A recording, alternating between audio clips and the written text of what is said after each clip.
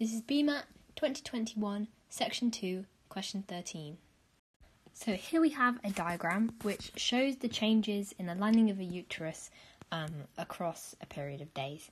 Um, point S is where ovulation occurs, and we also have these two other sections, um, Q and R. And the first question we have to work out is how does progesterone levels change, leading to the effect during Q? So let's look at what happens in Q. Here we can see that the uterus lining, um, it, the thickness decreases. So we're looking for something that causes a thickness to decrease. Um, so let's look at what happens to progesterone. What does progesterone do? What is its function in the body? It's a hormone that, when released, prepares the body for pregnancy. And when we're pregnant, we want a thick uterus um, lining to sort of support that um, that environment. So progesterone is going to thicken the lining. So if we have a decrease in thickness, we're probably going to have a decrease in progesterone.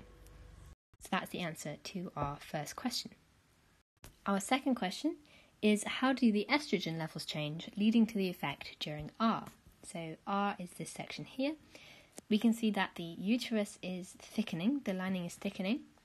So let's look at our role of estrogen. Estrogen is another hormone involved in um, regulating female um, sex organs, and it again prepares the body for pregnancy, so it's going to thicken that lining. And if in R we're thickening the lining, that must mean we have an increase in estrogen. So that's the answer to our second question. Our final question is how does the concentration of LH change at S? So S is here. We know that's when ovulation occurs, so S is our ovulation point. Um, but what does LH do? What is its role?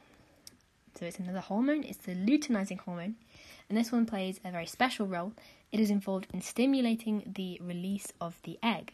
So ovulation, stimulating release of the egg, is going to increase. We must have LH to produce ovulation, so therefore its concentration must increase.